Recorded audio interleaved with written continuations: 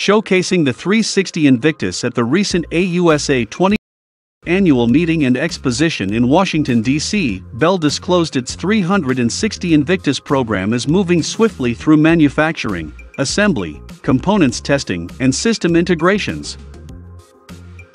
It looks like the U.S. Army will receive its new helicopter on time in the fall for future stealth attack reconnaissance missions. The Bell 360 Invictus is a proposed helicopter design intended to meet the United States Army requirement for a future attack reconnaissance aircraft, FARA. It is based on technology from the Bell 525 Relentless.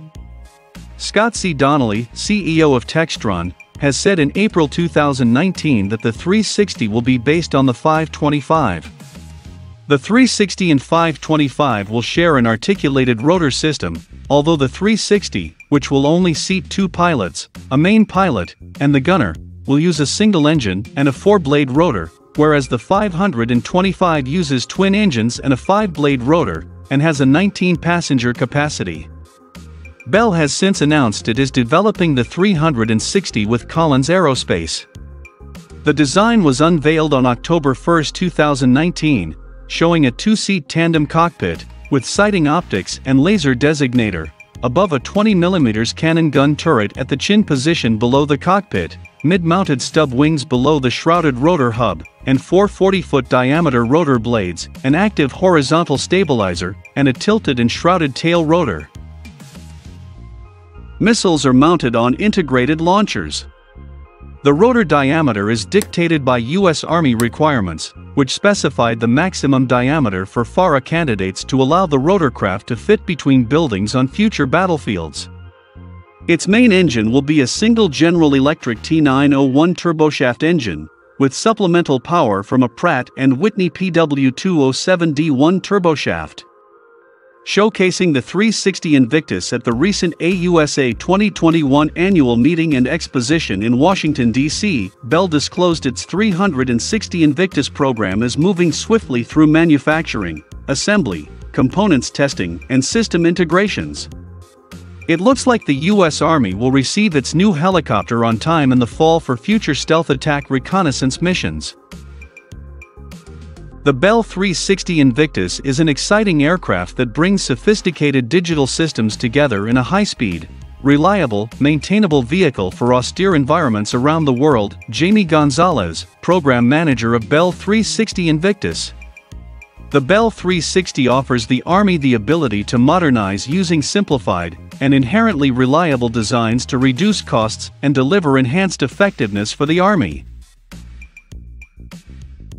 The U.S. Army requirement calls for a cruising speed in excess of 330 km per hour, and the 360 is intended to meet this.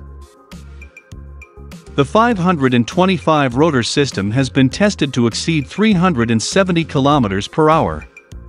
The stub wings are intended to provide lift equivalent to approximately 50% of the weight of the aircraft at moderate to high speed. The combat radius will be 250 kilometers, with at least 90 minutes of time on station. It will use fly-by-wire control.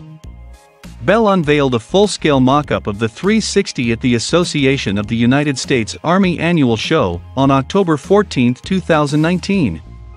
According to its manufacturers, whether in the urban canyons of the megacity or rugged rural terrain, the design of the Bell 360 Invictus delivers advanced speed, range and agility. The robust, articulated rotor, lift-sharing wing and optimized tail rotor enable versatility for the attack and reconnaissance operations in any environment. FARA is the U.S. Army's replacement for the Bell OH-58 Kiowa Warrior Scout helicopter, which was retired in 2017. The service wants the next generation Scout to use air-launched effects and long-range air-to-ground missiles to hit targets while outside the reach of enemy weapons. Despite its attack role, FARA is not supplanting the AH-64 Apache. We aren't replacing the attack helicopter at this time, says Major General David Francis, Commanding General of the U.S. Army Aviation Center of Excellence. The AH-64 Apache, that is our tank killer, and will still be performing that role well into the future. The U.S. Army says FARA is its top aviation priority. Bell's 360 Invictus is competing against Sikorsky's Raider X for the program's production contract. The service has said it aims to select a winner by the fall of 2023, after a fly-off competition. It wants the winning rotorcraft fielded to its first unit by 2028.